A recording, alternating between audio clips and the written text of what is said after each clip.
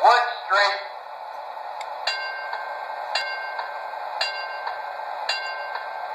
Ross Street, Allegheny County Jail.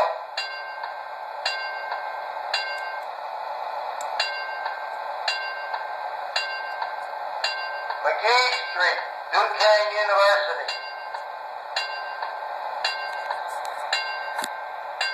Craft Avenue, Pittsburgh Playhouse.